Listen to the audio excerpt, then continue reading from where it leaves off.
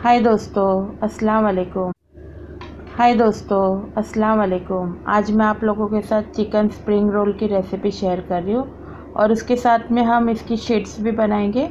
किस तरीके से हम घर में बना के आसानी से इस्तेमाल कर सकते हैं। बहुत ही क्रिस्पी बनते हैं। ज़रूर ट्राई कीजिए। चलिए फिर रेसिपी शुरू करते हैं। एक कटोरी हमें गेहूँ का आटा लेना है, दो कटोरी मैदे का आटा लेंगे, दो चम्मच हमें कॉर्नफ्लावर लेना है। नमक लेंगे स्वाद के अनुसार।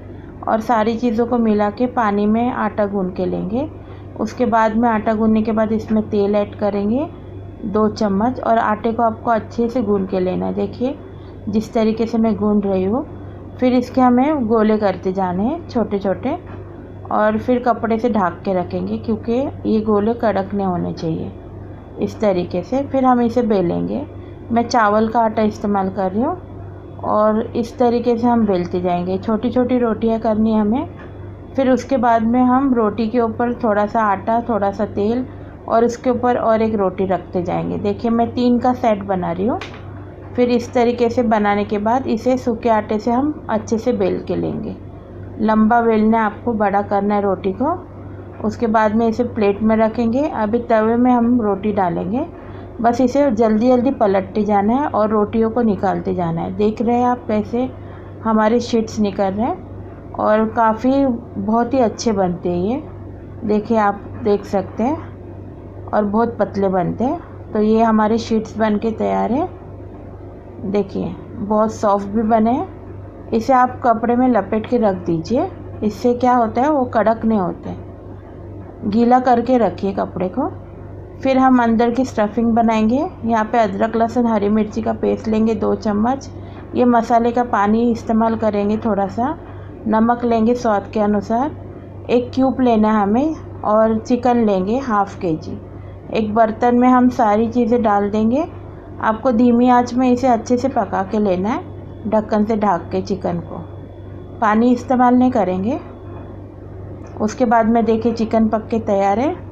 और इसे बारीक बारीक टुकड़ों में आपको कट करना है। चाहे तो आप चम्मच से भी कर सकते हैं, इस तरीके से, या फिर हाथ से कर सकते हैं, बारीक टुकड़े। अभी कुछ चीज़ें मैं आपको दिखाती हूँ। हमें लेना है एक प्याज, इसे लंबा लंबा कट करेंगे। पत्ता गोभी लेंगे एक कटोरी, और शिमला मिर्च लेंगे एक, हरी मिर्ची लेंगे पाँच, इसे चॉप कट करना है आपको।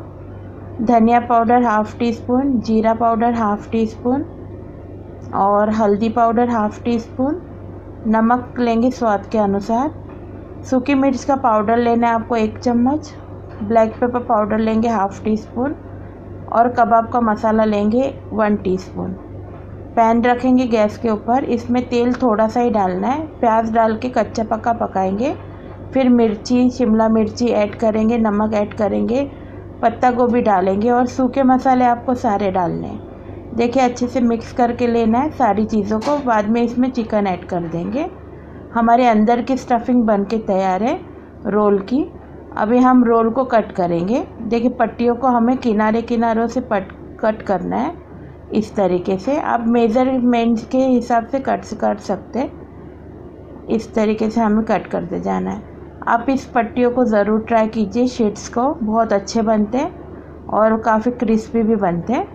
तो आप इसे डब्बे में भर के भी फ्रीज़ कर सकते हैं। देखिए, अभी हम रोल बनाना शुरू करेंगे। हमें मैदे का घोल लेना है, दो चम्मच पानी डाल के, और आपको स्टफिंग भर के इस तरीके से रोल करते जाना है। और आप डब्बे में भर के भी इसे फ्रीज़ कर सकते समोसा भी बना सकते इसमें। अभी आपको धीमी आँच में तेल गरम करना है, और तेल हमारा गरम होते के साथ धीमी आँच में आप इसे फ्राई करेंगे, तेज़ आँच में नहीं। बस बारीक आँच में अच्छे से फ्राई करके लेंगे। अच्छा कलर आने देंगे इसका ब्राउन और जब अच्छा कलर आ जाए तो आप इसे निकाल दीजिए। देखिए रोल हमारा कितना अच्छा बन के तैयार हुआ है। आप खुद देख सकते हैं कितना अच्छा भी दिख रहा है। और माशाल्लाह बहुत अच्छा भी बना था। क्रिस्पी बहुत ही है। तो आज की रेसिपी आपको कैसी लगी, ज़रूर बताइए। मैं इसे आपको तोड़ के भी दिखाती हूँ। और ज़रूर ज़रूर ट्राई कीजिए। वीडियो को ज़्यादा से ज़्यादा शेयर कीजिए।